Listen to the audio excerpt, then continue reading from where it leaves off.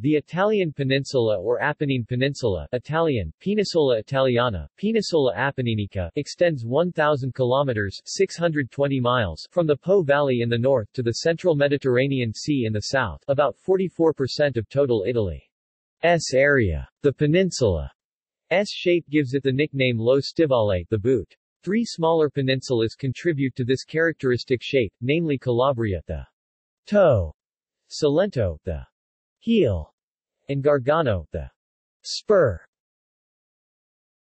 Geographically, the Italian peninsula consists of the land south of a line extending from the Magra to the Rubicon rivers, north of the Tuscan-Emilian Apennines.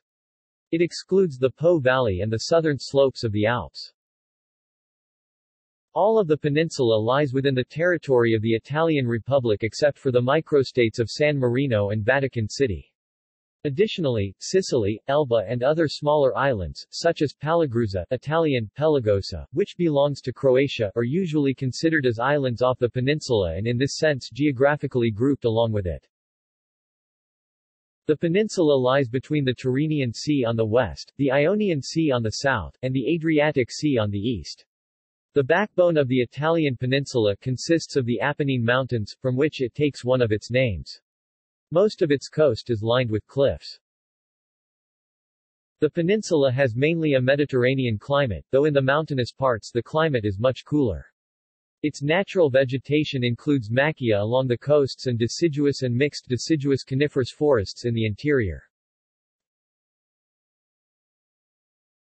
Modern countries, territories Political divisions of the peninsula sorted by area See also.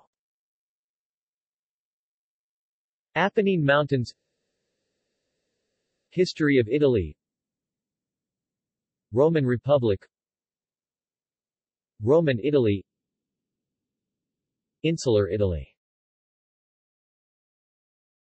References. External links